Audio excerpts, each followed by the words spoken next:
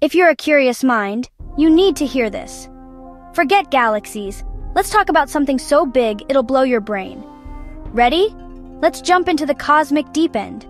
Meet the Hercules Corona Borealis Great Wall. This isn't just a cool name, it's the largest thing we've ever found in space.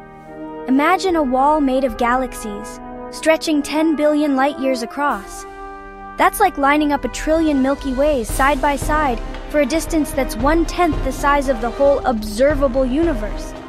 But here's the wild part it's not a wall like you'd hang a poster on, it's a humongous cluster.